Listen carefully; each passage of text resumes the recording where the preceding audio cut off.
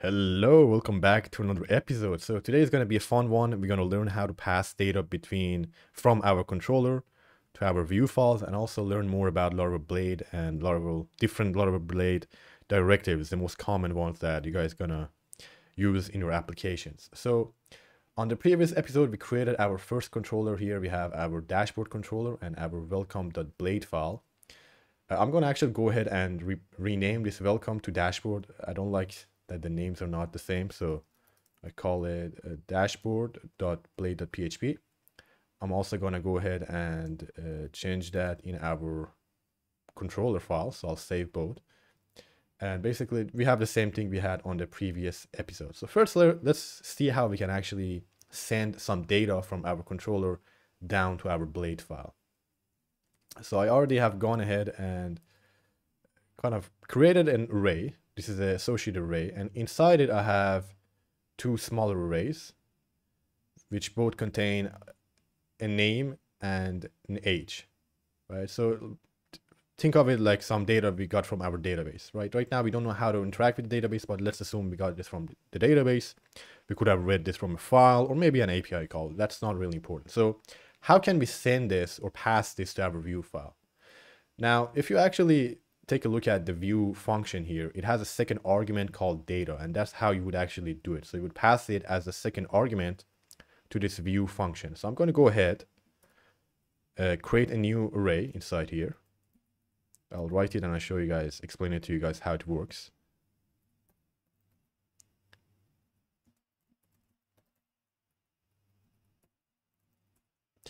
So basically, this is the process for sending data from your controller down to your views. You would create an array, and in that array, you can pass as many data as you like. So for us, I want to pass this user's variable. So I'll create a key. Uh, you can name this whatever you like. In this case, I'll just name it users. And then what do you want this key to be equal to, right? So I'm going to assign it to users. And you would then be able to use a variable named users inside your blade file, right? So if this was lists, we would basically be able to access that variable with the name list inside our blade file, right? And I actually, to avoid confusion, I'm going to name this users list for now. Later on, I'll change it back to users. So now let's go ahead to our uh, dashboard file and I'm going to actually use PHP here. So I'm going to get rid of this and we're to go old school and write some PHP code. And how should we do it? So I'm just to say users list, get the first element for me, and also show me the name, right? And I forgot the echo here. And I didn't mention this in the previous episode. You can actually write PHP code inside your Blade file. Technically, you're allowed, even though you will never see anyone do that. It's not really good practice, but since we are learning, I'm going to start with PHP first. So I'm just going to write a simple PHP code. You guys should be used to this. I refresh our page and we can see Alex here. So the code is actually working and we are actually able to pass data from our controller down to our views. Now, I don't really like this users list. So I'm actually go ahead and change this back to users, but I just wanted to use the users list name to, uh, you know, show you guys that it's not based on the variable name you have inside the controller. It's based on what you define as the key in your array. So now that I have done that, I'll turn this back to users and I'll refresh the page. We get the same results. So let's go ahead and actually display the names in our list. And I'm going to first actually do it the old school way using PHP and later on we will learn how to do it with Laravel. So I'm going to create a for each loop users as user. I think that's pretty nice. And I'm going to have to create an opening and closing PHP tags, which is very annoying, but that's the way to do it. I'll open a h1 tag and inside it, I'll basically echo user name. And I get rid of this one. So this is basically how you would go ahead and loop through a list or an array in vanilla PHP, right? And that's how you guys probably have been doing it so far. And it worked just fine. So I'll just go refresh the code and we have an error. Oops, I added an extra echo. We don't need to do that. And you can see it is working. We get Alex and Dan. That's the names in our list or our array. Now, what's the issue with this? Well, first of all, it's a bit, you have to write a lot of opening and closing PHP tags. That's the first issue. So you have to write more code. The second issue, I think, is with PHP, it's very annoying and it's kind of, uh, it makes your code cluttered, especially when you're trying to mix HTML and PHP tags. And you guys might have noticed this. It's very annoying when you have a complicated PHP HTML tag. You constantly have to open a PHP tag, close it, open it, close it. It gets very messy and cluttered over time, especially if you have a large page with a lot of HTML. Laravel Blade actually solves that. It also helps us just write code, code faster and also gives us a bunch of extra features that you generally don't have with vanilla PHP or you have to write a lot of code to achieve. So let's rewrite this using Laravel Blade. Now with Laravel Blade, you would use the at sign. Usually all the Laravel Blade directives start with an at sign. So use the for each. It's named exactly like you, it is in PHP. And I'm going to call it users as user. And instead of a closing curly bracket or braces, we're going to use end for each. So the names are a little bit different. It's actually a bit more descriptive than, you know, opening and closing curly braces. So that's it.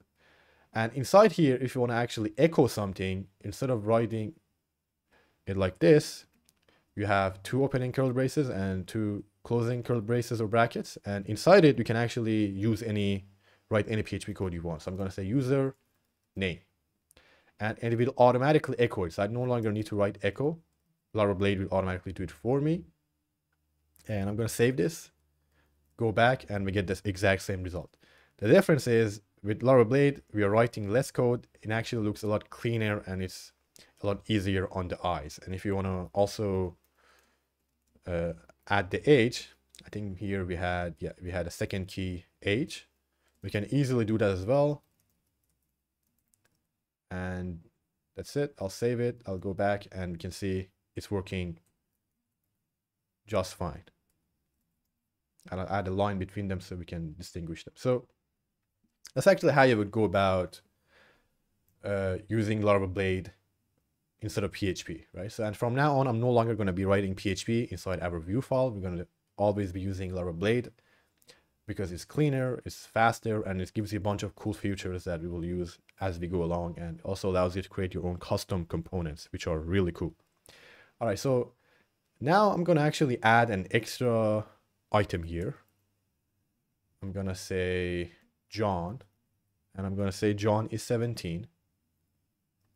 And I want to actually uh, write down that John cannot drive or can't get a license because he's under 18. So how do we go about doing that? You can actually add if statements in your uh, blade file as well. We're just calling doing at sign if. And if you guys are using VS Code or PHP Storm, I think auto completion should suggest you guys what you can use. I'm going to say if, and inside here, I'm going to say user age is less than 18. And I'm just going to put a simple message, doesn't really matter. User can't drive. Something like this. And I'm going to save it.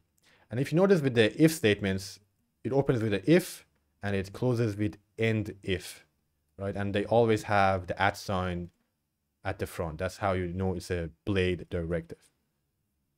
So I'll reload it and you can see I need to move this HR under it. So, and we can see here for Alex, we don't get a message. For Dan, we don't, but for John, because it's less than 18, we get this can't drive message here or shown here. So that's another thing you can do with Blade. You can add if statements. Basically anything you can do with the regular uh, PHP, you can also do in Blade. And yeah, so that's all the things I wanted to show you guys for today.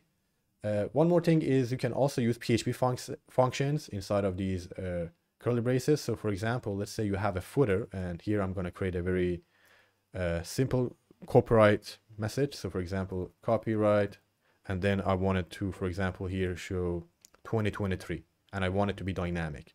One way you can do that is by basically doing what we had done here, but use a PHP function. So I'm going to use the date PHP function and I'm going to put y here. And as you can see, it is showing 2023. So you are also able to use any PHP function that you're able to use anywhere else inside Blade as well. So it gives you all the functionality that you need. And yeah, so that's all for today's episode, guys. I hope you learned something new. If you have any questions or something's not clear, you can always ask me in the comment section below. Don't forget to leave a like and also subscribe so you're updated on the next episode. And I'll see you guys tomorrow. Have a great day.